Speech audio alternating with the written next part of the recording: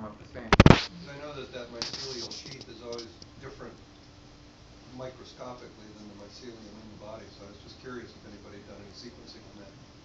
No, we really should though. Um, I brought this one back, so we put, we still have this sheath on there. Oh, cool. So, um, yeah, when I get into the lab, I'll see if I can do that. Okay, thanks. So this one was pretty delicious. There's a lot of Ramarias, like over a hundred species of Ramarias in Mexico. About half of them are bitter. So if they're not bitter, I fry them up and they're good. Marasmius cladophyllus has these really cool, uh, kind of like anastomizing gills here. So I take it with your mouth, you nibble a little bit of it raw, Uh-huh. and if it's bitter, Yeah. don't eat it. Yep. If it isn't, go ahead. And if it's bitter, you can still eat it. It just tastes really bad. but I mean, a lot of Chinese food recipes call for bitter ingredients. So if you pick the right recipe, it might be really good. And here's kind of a tropical polypore. These are super common when you get down near the ocean.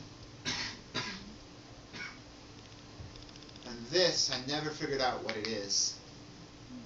And it's really cool, really unique. Never saw it again. I collected it, and now I can't find it. So maybe one day it'll turn up. Did you look at the spores or? No, I haven't done any work on it. Uh, I just dried it in a bag, and there it remains. What do the gills look like? They're about the same color as the mushroom. Um, if you go to Mushroom Observer, you can see a, a nice uh, close-up of the gills. I don't think I have in this talk. But yeah, exactly the same color, which leads me to believe that it's white spore. Although entoloma is also possible. But I've never seen an entoloma with gills like that, so I'm thinking like Tephrosidae or something really weird I've never heard of. But this is where sequencing can really help, because if you have no idea what it is, sometimes you can pinpoint it really fast. And even with the microscopy, with these weird tropical genera, sometimes you'll be running in circles for years until you sequence it, and then you're like, oh yeah, now it all makes sense. You see it's killing the leaf there. Uh, but really pretty cool looking. And this is really cool under the microscope too. Bright purple KOH. what creates the pattern? That's a good question. I don't know why the pattern is like that. It's always very concentric. Yeah. It's probably kind of like a fairy ring um, in the forest, where the uh, fungus starts in the middle and then expands out and makes fruiting bodies. And this one is really cool. This one has crusate spores, which means the spores are in the form of a plus or a cross, which is something that's very rare and only only seen in the gen- genus Tricholosporum. And then this Hypholoma lateritium, common uh, edible Hypholoma, it's known from the East Coast. And this Inocybe, um, the one on the right has really boring spores, kind of shaped like beans, but the one on the left has these awesome star-shaped spores.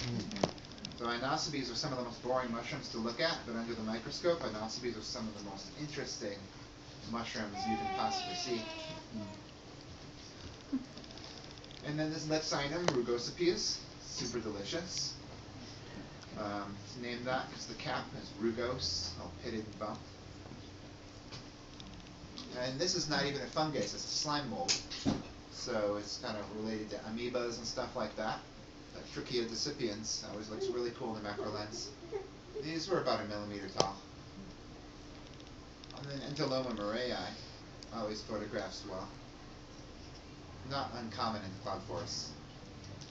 And these were super tiny. Um, you can see the next slide. There's a, yeah, there's a peso. Wow. So that's about the size of a dime. And then yeah, they're like a millimeter across each.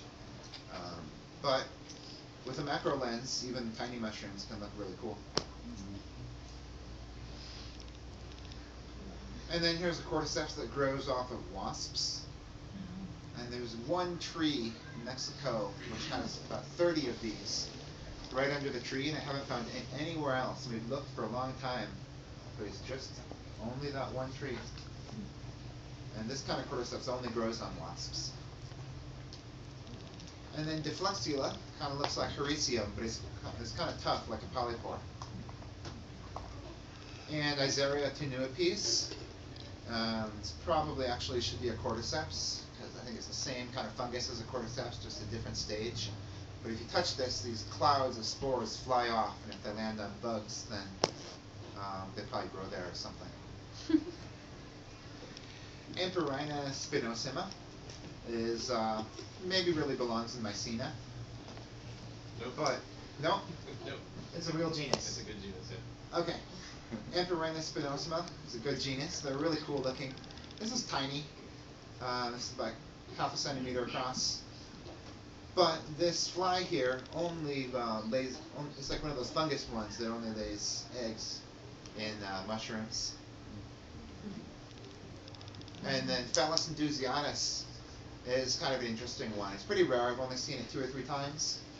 Um, but the top smells really, really sweet, like nauseatingly sweet. It doesn't quite smell bad, but it almost is like too sweet. And then the neck down below smells like rotten meat. Um, but I've noticed that women have a very different opinion of the odor of this. So when I found this, I was with a couple ladies, and I said, um, "Que olor tienes?" and handed it to them, and they said that the top smelled really dulce, like sweet, but not like nauseating, like they really liked it. And it, they just kept smelling it and smelling it over and over because I thought it smelled awesome. And then the bottom, they said it smelled like chemicals, but it didn't smell repulsive to them. And to me, it was this like terrible rotting meat smell. But they just kept smelling it. They're like, oh, that's that's kind of interesting. Did you try it with other males and females, or was it?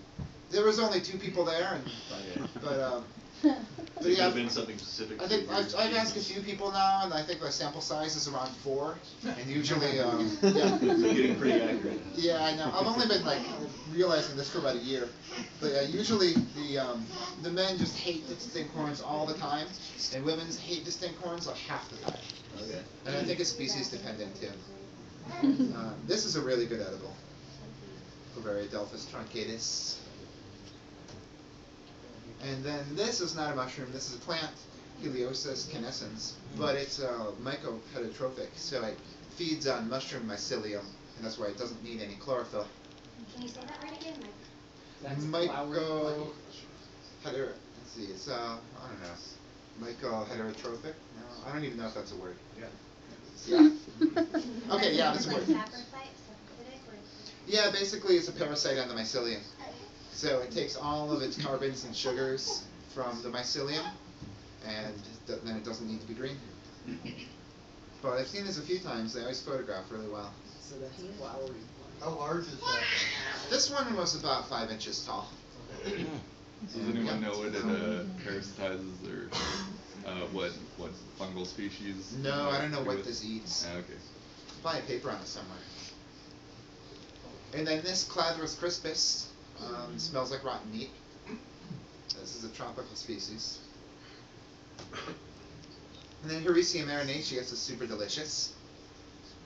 And I always find this on oak. And Chrysophyllina. Uh, these are really tiny, but really cool looking.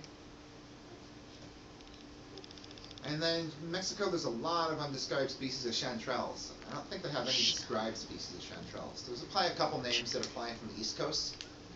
Uh, most of them are undescribed. So I brought back a whole lot of chanterelles and sent them all to Matthew Foltz. And then Dicephalospora rufocornea, it's this little ascomycete. And when I found it, I had no idea what it was, but I scoped it and put it up on Ascofrance and they're able to identify it. Now that I know what it looks like, I see it all over the place. But I guess it's super rare or something because I'm the only person that has it on Mushroom Observer. And then these Geronemos, occasionally are bioluminescent. This one wasn't. But you see that I took this photo with the flash, but there's no harsh shadow behind the stem, so this was definitely a ring flash, which makes it makes it look really nice. Also with the ring flash, Clavulinopsis, Eratios cinerana. And then here's the Mexican candy cap. I'm not sure if it's the same as the East Coast candy cap, but it's not nearly as strong as our West Coast candy cap. But it does smell like maple syrup. I got some really big collections of this, and if you get enough of them, they, they can work in desserts and stuff. But it's still better um, to get the rubidus here. And it's kind of interesting because these are mycorrhizal, but they're always growing directly from sticks and leaves and leaf litter. But always under oaks. So I brought a little bit back, and nice people over at Humboldt State University let me use their scanning electron microscope. And it's kind of cool because with regular microscopes, the depth of field is really narrow, but with electrons, you get a really wide depth of field. So you can see it's in focus here on the top, and it's in focus on the back. It's kind of in focus everywhere. And then the limit to light microscopy is about a thousand times magnification. Anything above that is just salespeople um, trying to sell you microscopes. But with electrons, they're a lot tinier than photons, or at least uh, you know, the photon waves, so you can get a lot more magnification. So here's uh, 1,900 times. You can see the, the spores of the candy cap are really reticulate. So they have these uh, reticulate walls across them. And then at 4,000 times. And then here's the scleroderma. These look pretty cool, but they're kind of poisonous. kind of open in the purple inside, unless they're really young. If they're white, are they poisonous? What's that? If they're white, Yeah, they are. Yeah, sometimes you cut open the scleroderma and it's pure white because it's really young, Yeah. but it's still a lot harder than all those edible puffballs. So they're like rock solid, Oh. especially when they're really young like that. But yeah, it's not true that all the puffballs that are white inside are edible just because of the sclerodermas. And then Auriscalpium vulgare always photographs well. This was about a centimeter across. It's growing on Douglas fir cones. Do they grow only on oak trees? I see them in uh, pine needles sometimes too, like uh, fir duff and also just pine Yeah, needle duff. uh, But um, in the Bay. Area, I usually find them at fir cones. Uh, sugar pine cones too. Yeah. And I've sequenced those sugar pine ones from the Sierras, and they're the same as the uh, as the coastal ones, but they're different than the European ones, and they're very different than the Japanese ones. Uh, Lactarius salmonicolor, I tacked the name group on here because this is a name from Europe, and the Mexican species is totally different. But this is really common, pretty good edible in the high elevation fir forests. And then Lactarius indigo is super popular. Wow. They like to eat them. All the Mexicans call them azules. and if there's, if there's one edible mushroom they know, it'll be this one. And a lot of people like to break them open, and then this really blue paint comes out, and they use it as watercolor paint. Is it, uh, mycorrhizal? Yeah, it's mycorrhizal, usually with oak, but I did find it under pure pine as well. And there's some really cool entolomas in Mexico. Um, this one was about eight inches tall, and it was way down in a valley, so I had to do an eight second exposure to get this photo, because there was hardly any light down there. Where in Mexico are you? This is Oaxaca. Yeah, this was about 20 miles from Huautla de Jimenez. But these pictures were all over, but I usually like to go around the south of Mexico, because the south is safer than the north. Um, and the mushrooms are more interesting, and it's kind of more authentic. Because it's more rainforesty? Yeah, it's uh, it gets better rain in the south. You know, the north is almost a little bit like Texas, um, which is cool. You know, there's cool mushrooms in Texas too, but in the south it's just like completely different stuff that you've never seen before, and in the north it's kind of more familiar stuff. But really cool stem texture on this Entoloma. And then this is the world's largest Laccaria, Laccaria nobilis. They can be a foot tall sometimes, and they're pretty common under oak commonly eaten too. And then this is a poronia. These are pretty cool. They grow on cow manure. And this particular one looks like a shower head. I also have some other poronias that have a hemispherical cap. Are they gilled? No, no gills. The spores come out of the top, those pores in the, the very top there. Is it an ascot? I think so, but I haven't scoped it yet, so I don't know for sure. But It is. yeah, I think it is. Yeah, What's the size of it? About two inches tall. Huh. Yeah. Are those wet or are they slimy? I took this picture in the rain. Okay. Yeah, when, when they're dry, they're not slimy at all. Edible? Um, they're really tough. They're very woody. Um, but I brought them back, so I'm going to do some work on them pretty soon. Huh. Cool. And then here is Ustilago maydis. Uh, common name is corn smut or huitlacoche. And so this is a parasite that grows on corn. And sometimes when I'm walking through cornfields, I'll find one ear that's just way too big, and it'll be parasitized with this. But this is really popular, and it's super delicious. It tastes a lot like corn, but it has some other flavor, kind of sort of like cheesy, cheese-like too. Do people cook it traditionally? Yeah, so traditionally it's used in um, in quesadillas. Um, but I also like to fry it up and put it on tostadas and put it in enchiladas or stuff like that. Uh, but it's really good. And in the United States, you can only find it canned, and it's not really worth getting when it's canned. It's really only good when it's fresh. Is it commonly available in the market? It's super common in the further south you go in Mexico. No. And so these were only a dollar each for a big old corn husk full of it. Wow. And so, yeah, So when I see it, I buy actually it. a market right there, huh? Yeah, this is in the market. Okay, it doesn't grow like that. No, no, it just looks like a regular corn plant, except that the ear is huge and deformed and bulging. But you can take these. I, I, I brought a bunch of these before I left and put them in a dehydrator and brought them back. And now when I grow corn, I can just take the powdered, um, you know, mushroom and kind of sprinkle it on the corn silk and grow my own here. Is it carried in the soil itself once it becomes established? I don't know how it gets carried, but I think so. Yeah, It's I know very it's likely. waterborne. I've uh, cut Waterborne? corn plants before. Uh, just like slice it. I guess that's the traditional thing to do. And I've gotten corn smut on my corn that way. Oh, cool. Yeah. You can actually sometimes find it in the farmers markets, but you'll have to ask them.